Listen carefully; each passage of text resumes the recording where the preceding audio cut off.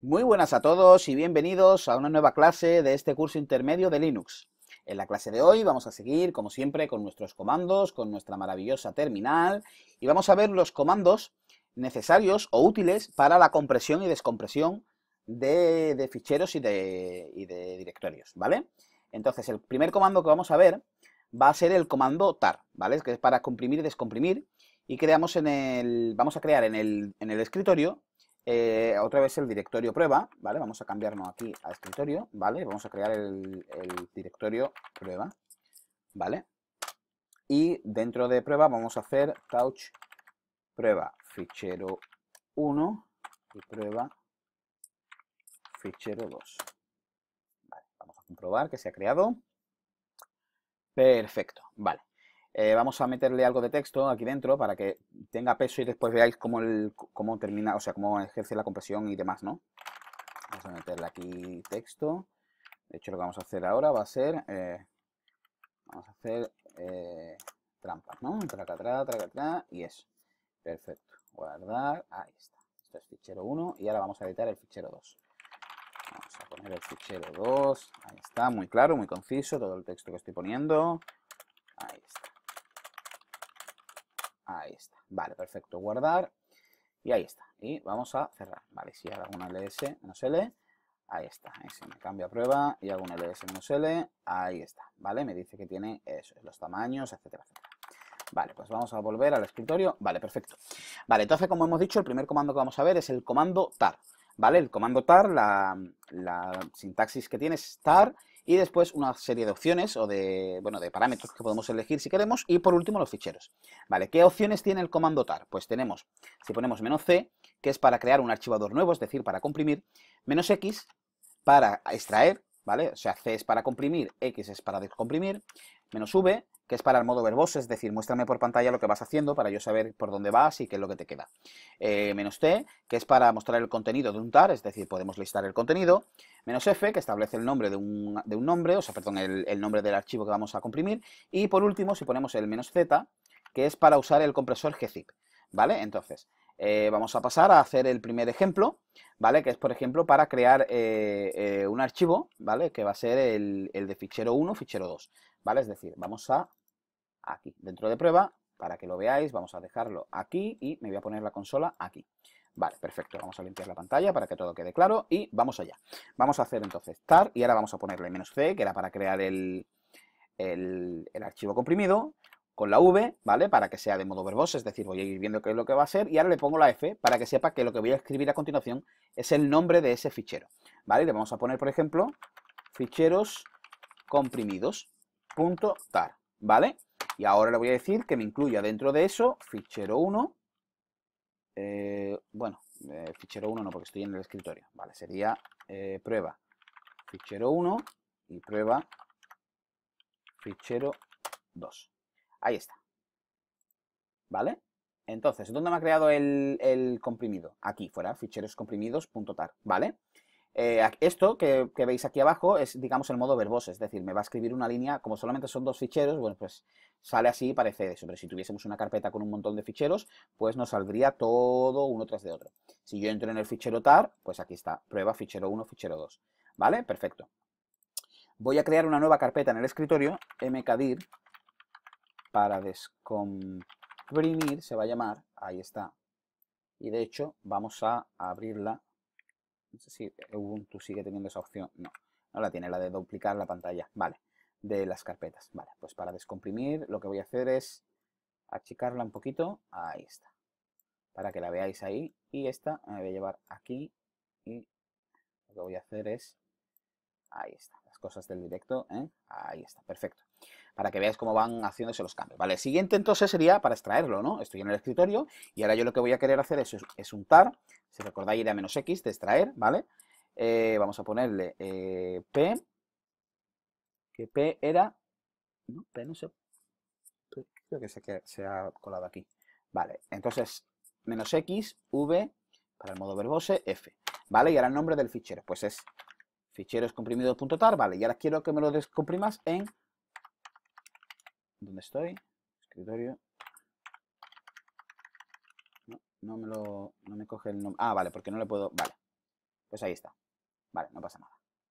Me ha... Mm, directamente lo que me ha hecho ha sido eh, sobreescribirme esto, ¿vale? Directamente, ¿vale?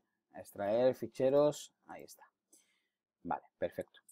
Eh, entonces, lo que sí tenemos que tener en cuenta es una cosa, que es que cuando descomprimimos, eh, sobrescribe los ficheros, ¿vale? Entonces hay que, tener, hay que tener cuidado. Vale, ¿cómo podemos ver desde la terminal el contenido de un fichero tar, no? Pues sería contar menos tf, ¿vale? Y el nombre del archivo que es fichero, aquí está, me dice que tiene prueba fichero 1 y prueba fichero 2. Vale, ¿por qué eh, os he dicho que cuidado porque sobrescribe?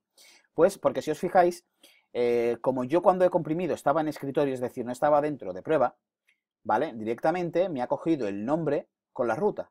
Entonces, por eso lo ha descomprimido aquí, ¿vale? Eso es algo que tenemos que tener en cuenta. Si yo lo comprimo, es decir, yo lo he comprimido desde, escritorio y para comprimir, de hecho tenemos la orden por aquí, vamos a ponerla. ¿Vale? Yo le he dicho que está en prueba y en prueba. Entonces lo que ha guardado como nombre del fichero es su nombre junto con la ruta. Por eso automáticamente me lo va a sobreescribir. Es algo que tenemos que tener siempre muy en cuenta a la hora de utilizar tar. ¿Vale? Yo lo mejor, si acaso, sería que os pongáis siempre dentro del directorio que queréis comprimir, por ejemplo, sería prueba. De hecho, lo vamos a hacer, ¿vale? Vamos a hacer esto y vamos a volver a crear el comprimido, ¿vale? Pero le vamos a quitar esto de prueba. Vamos a quitarle esto y vamos a quitarle esto. ¿Vale? Ficheros comprimidos 2.tar. Vale, ahí está. Fijarse, que ahora si hago el listado este, esto como os he hecho antes, eh, vale, porque no está, vale, estamos en, vale, estamos en prueba, claro. Entonces, eh, lo que le tengo que decir es eh, dónde estoy, bueno, el padre, ¿vale? Y ahora le digo ficheros comprimidos, ¿no? Ficheros comprimidos 2. Ah, vale, lo ha creado dentro de prueba, vale. Vale, lo ha creado dentro de prueba. Vale, pues entonces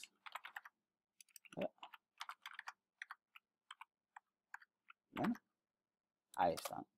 ¿Vale? Me dice fichero 1, fichero 2. ¿Vale? Ya, si, os fijáis, ya prueba no existe. O sea, no, lo ha guardado. Directamente lo que está dentro es eh, fichero 1, fichero 2. ¿Vale? Sin embargo, si entramos aquí, ya también guarda la carpeta prueba. Fichero 1 y fichero 2. Por eso al extraer, lo que hace es extraer completamente y por eso sobrescribe. ¿Vale? Sobrescribe esa, esa carpeta.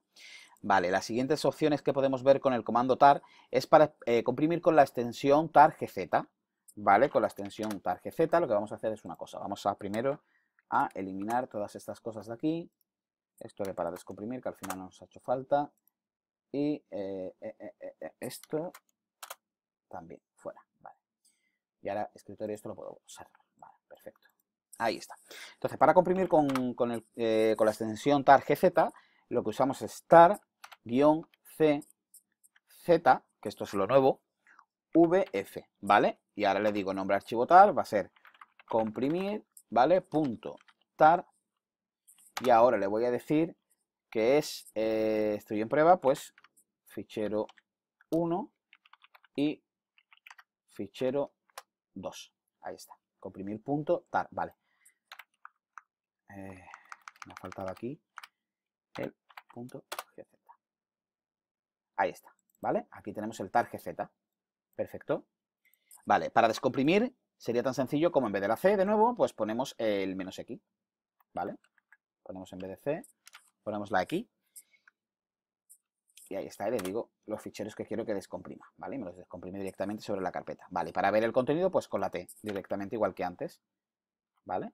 Le ponemos aquí menos TF. TZ, perdón. TZF. Eso es. Y ahora lo que tengo que hacer es quitarle los ficheros. Ya esto no tiene sentido. GZ. GZ. Ahí está. Eso es. ¿Vale? Fichero 1 y fichero 2. Vale, perfecto. El siguiente comando para comprimir. Vale, pues tenemos el comando gzip, que al contrario va a comprimir eh, de archivo en archivo, borrando el original. Esto es muy importante en gzip, porque hay gente que, no, que eso después no se acuerda. ¿Vale? gzip lo que hace es coger el fichero y lo que hace es comprimir el fichero, pero borra el original. ¿Por qué? Porque si lo descomprimo después, vuelvo a tenerlo. ¿Para qué lo voy a tener duplicado? Vale, pues entonces se usa de la siguiente manera. gzip, ¿vale? Con esto voy en prueba, vale gzip y ahora le podemos meter eh, dos opciones, bueno, las dos más importantes, que es que podemos poner un guion y ahora podemos poner un número que vaya del 1 al 9, donde el 1 va a ser la compresión mínima y el 9 la compresión máxima. Es decir, si le pongo esto, va a comprimir al máximo. ¿Vale? Entonces, si yo le digo gzip menos 9 y ahora le digo fichero 1, ahí está. Si os fijáis, cuidado con esto, ¿vale? Me ha borrado fichero 1 y ahora ese, mismo fichero se ha quedado comprimido en gz, ¿vale? ¿Cómo puedo descomprimir el, el, el fichero? Pues utilizando menos d, ¿vale? Es decir, yo lo que le hago ahora es aquí menos D. Y ya está. Vale, eh, con gzip es importante. No puedo comprimir una carpeta, pero sí todo su contenido de manera individual. ¿Vale? Entonces yo no podría hacer gzip y eh, vamos a cambiarnos al escritorio. Yo no puedo hacer gzip prueba. No me dice, porque me dice es un directorio, está ignorado, ¿vale? ¿De qué forma podría hacerlo? O sea, para que me comprima fichero 1 y fichero 2. Pues le pongo esto y ahí está. Fichero 1 y fichero 2 ya se han convertido en eh, en ficheros comprimidos, ¿vale? Vamos a descomprimirlos. Ahí está, perfecto. Vale, ¿qué más podemos ver con, con gzip? Bueno, pues otra forma que tenemos para descomprimir con gzip, vamos entonces a, eh, a comprimirlo de nuevo, vamos a ponerle esto, vale, otra forma que tenemos es con gunzip, ¿vale? Gunzip, y le digo prueba, ahí está, ¿vale? Es otra forma. Eh, vale, ¿qué más podemos ver con, eh, de comandos? Pues el comando zip, que es quizás la extensión, la extensión zip, puede ser una de las más conocidas, ¿no? Eh, tanto para los usuarios de Windows como etcétera, etcétera. Vale, para comprimir, sencillo, tenemos zip, ¿vale? Y le decimos que sea, por ejemplo, va a ser el fichero, pues va a ser compri.zip, ¿vale? Como veis pongo la extensión y ahora le digo fichero 1.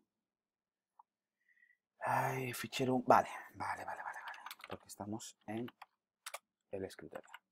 Vale, ahí está. ¿Vale? Y ahí está, compri.zip. Y solamente tiene este, este no sustituye, ¿vale? Tiene el fichero 1. Vale, ¿cómo puedo descomprimir? Pues sencillo, un zip, ¿vale? Y compri.zip. Me dice, este es lo que sí me pregunta si quiero, si quiero eh, reemplazar, ¿vale? Pues le puedo decir incluso rename, ¿vale? Le digo new name, pues le pongo el 2, por ejemplo, ¿vale? Y es el fichero que teníamos antes en fichero 1, pero cambiado de nombre, para que no lo sobreescriba.